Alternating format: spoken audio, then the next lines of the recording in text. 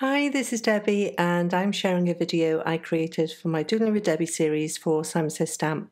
This month it is all about the distress distress oxide blending. Did you see Kristina Werner's look at the new distress colour speckled egg? So fabulous, and her distress oxide combinations are always spot on. I have speckled egg on its way to me, but in the meantime, I thought I'd play with the colours I already have. I was really taken with the colour combination which Kristina used of speckled egg with ripe persimmon and walnut stain. I switched out the speckled egg for tumbled glass instead. Starting with the tumbled glass and a blender brush from Simon Says Stamp, I gently blended ink over a piece of Neenah Solar White card on a tonic craft sheet. I started light, but quickly realised that for this piece I really needed to get lots of ink on there. I blended the tumbled glass over best part of two thirds of the panel and then bought in ripe persimmon. Ripe persimmon, I'm struggling with my words today. This is a strong colour and quickly filled the space. I then followed up with walnut stain at the bottom these colours took some blending as you will see. I went back and forth with the three colours until I had a blend I liked. I liked the orange toning down the blue and equally the blue toning down the orange until the end result was a hazy misty flow from one colour to the next.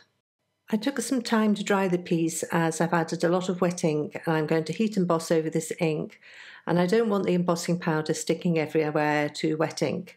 So I dried the panel, tested it by sprinkling on powder, and I was getting a little powder stuck, so I wiped that away and dried the panel some more. I did this two or three times before I was happy. Alternatively, you could leave the panel to dry for a bit, but I'm impatient and wanted to keep filming.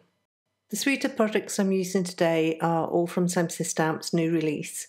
Centre cut hexagon floral background and hexagon greetings with the matching die. All three are intended to be used together.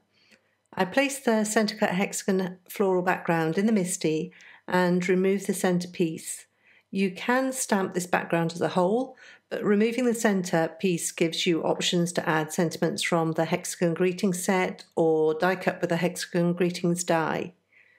Having lined up where I wanted the open area to be on my panel, I kept it in place with tape and then treated the card with anti-static powder. I then stamped the design in Versamark ink and taking a tip from Cathy Zielske, I gently rubbed over the MISTI with a cloth to help get a good stamped impression. I then sprinkled on white embossing powder, holding the edges of the card to prevent oils from my hands attracting the powder. I moved around the piece, making sure everywhere was fully covered, and then tapped off any excess before melting the embossing powder with a heat tool. For me, embossing after ink blending gives the best results as the embossed powder stays clean and bright rather than blending over a pre embossed design and having to wipe and clean up the embossed lines afterwards. The only cleaning up doing it this way is to wipe away any excess anti static powder. With the background piece now embossed, I debated the different ways I could use the other products in the suite.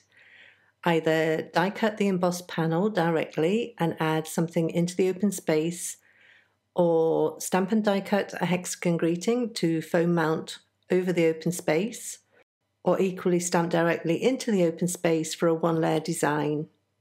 I decided to go with the first option and to help me die cut the hexagon precisely, I die cut a template first. I aligned the hexagon exactly where I wanted it and lightly taped it down, then placed the template over the top and taped that in place before carefully removing the hexagon. I then taped the die in place and ran it through my die cutting machine. I first saw this style of die cutting from Michelle Short, and it is an excellent way to uh, get um, a die cut exactly where you want to. Now, I did make one rookie mistake here, and that is I didn't take some of the sticky off the washi tape by dabbing it on my clothes, for example, before adhering it to my panel. And as a result, when I lifted a couple of the washi pieces, they stuck slightly and pulled at the paper. However, I love this piece and I'm not going to start again, so I fully intend to use the panel, but I'll cover my mistake up and you'll see how shortly. With the open area now die cut with a matching hexagon, you could add this back in with a sentiment stamped on it and foam mounted. I trimmed the panel to be slightly smaller than an A2 card base and decided I liked the look of the panel over the ivory card with the card colour showing through the hexagon window. I decided to stamp a hexagon greeting directly on the card base so it lined up with the embossed panel window. I placed the card base in the MISTI, lined up where I wanted the panel to sit, and then nested the hexagon greeting in place. I shut the door of the MISTI to pick up the stamp and then removed the embossed panel before treating the card with anti-static powder and stamping the greeting in Versamark ink. For the greeting, I chose antique gold embossing powder so that it would show up nicely against the ivory card.